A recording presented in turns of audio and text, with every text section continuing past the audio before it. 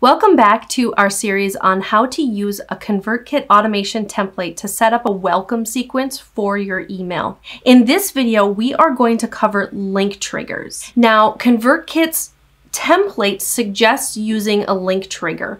We are going to talk about why you are less likely to use a link trigger for a welcome sequence than basically any other email sequence that you might be setting up. We'll talk about how to set up a link trigger in ConvertKit um, so that you can start getting people into a sequence with a link trigger.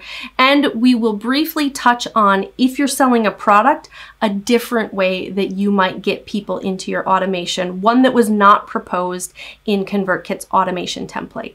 So let's get started. So here we are in our Evergreen newsletter automation. And what I want to focus on is this element on the top row, the element in the middle where it says newsletter.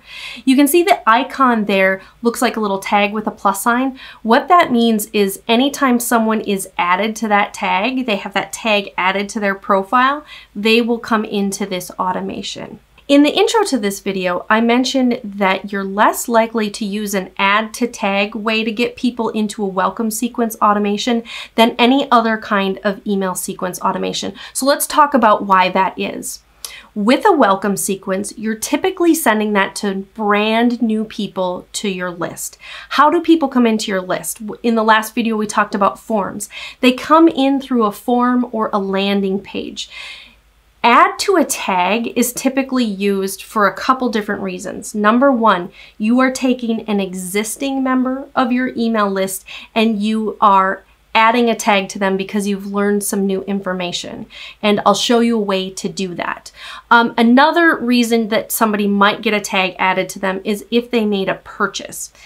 And if they made a purchase, chances are you're using one of ConvertKit's direct integrations to bring those purchases in, let's take a moment to look at your options for a purchase.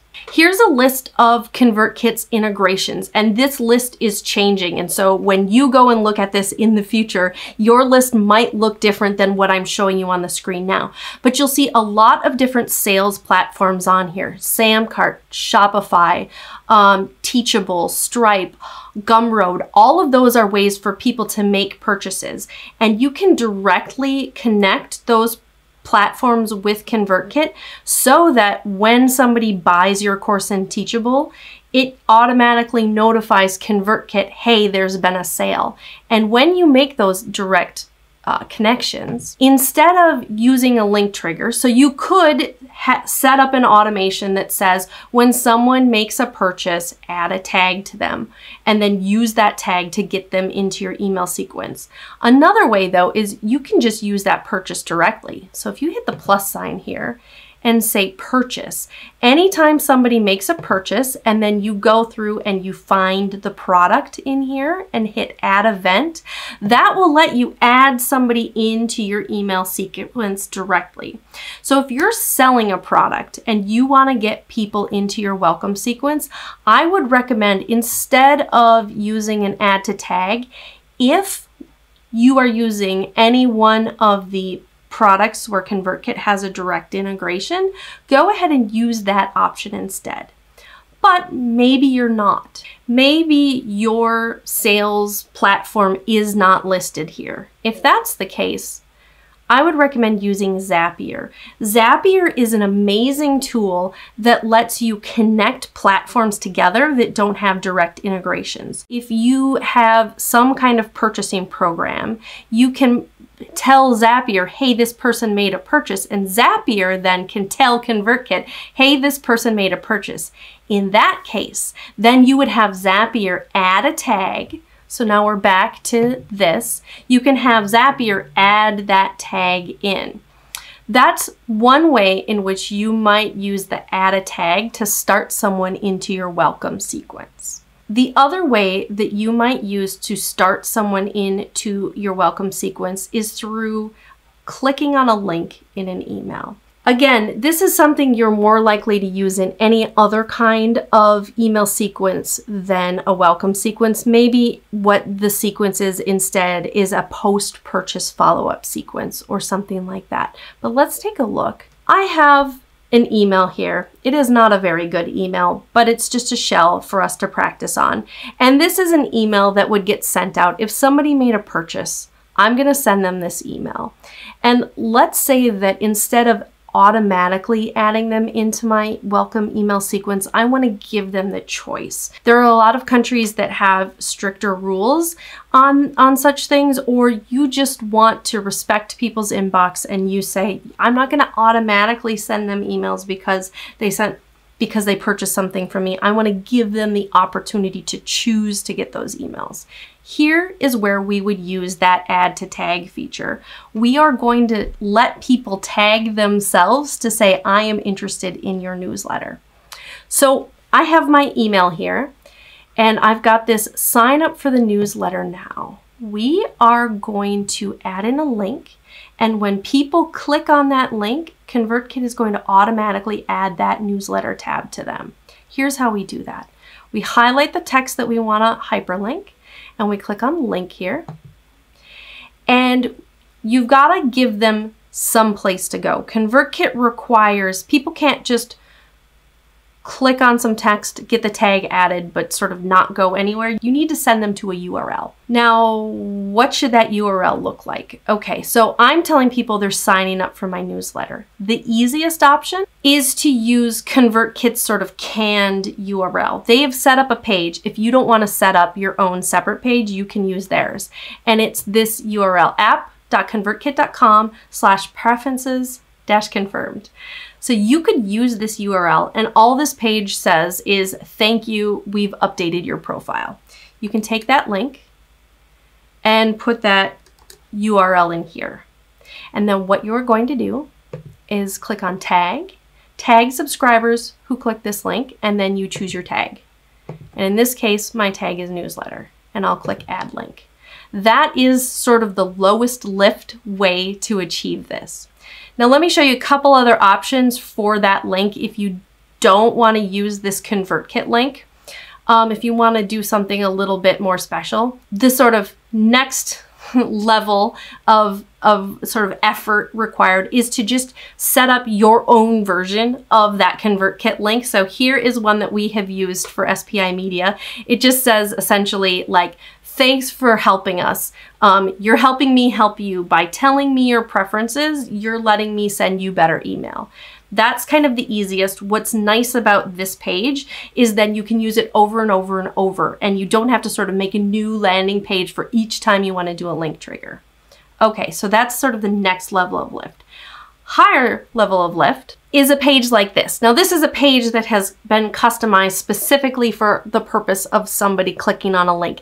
In this instance, it's for somebody who downloaded our Mindset Hacks cheat sheet. And when they click on that link in an email, they will land on this page and this page um, it has timed out, but usually you see a five minute countdown timer. That's just to help people be patient until the PDF, until that email triggers out to them. Um, but this has a bunch more information that's really specific to um, that specific link that they're clicking on. That's a higher, a much higher level of lift because now I've created a completely separate page for that link trigger. Whatever you choose to use, I would say if you're just getting started, just use ConvertKit's link out of the box. You can go back and update it later.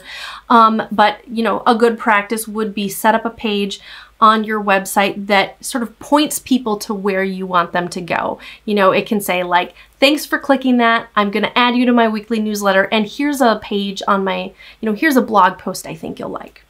Okay, so somebody gets this email. Let's take a quick, let's preview this email.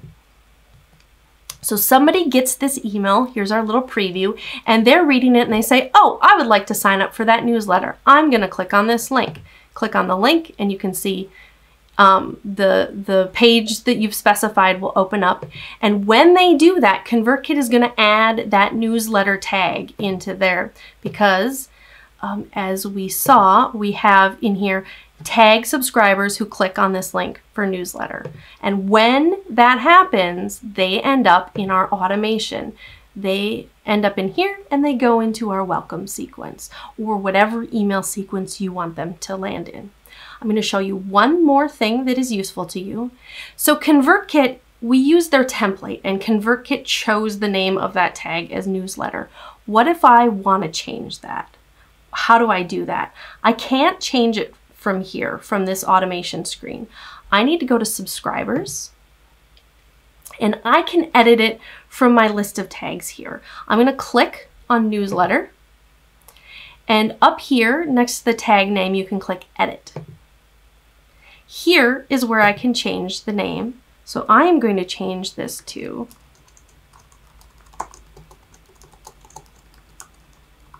Anytime I'm using a tag primarily as a trigger to make something happen, so in this case, it's what I call a link trigger. Uh, they click on the link and it triggers something to happen. I like to put the name trigger in front so that I remember that other things are happening with that tag. That way, if, you know, a year down the line, I'm going through and I'm like, I'm going to clean up my sort of email organization. I'm going to clean out all the old tags. I remember then that that tag is doing other things so that I don't accidentally get rid of it. Okay, I just click save here. And this is one thing that I really love about ConvertKit. ConvertKit has done a very good job with sort of their database structure. You can rename things and it doesn't break any of your automations. Let's go back to automations. We'll click on this. And now when this loads, you can see that the name of my trigger has changed. And let's go back to that email. And if I go and edit this link, you will see that the name of my tag has changed. ConvertKit does that really well, a lot better than um, some other platforms that I've used. So that's what you need to know here about using a link trigger or sorry, add to tag to get people into your welcome sequence.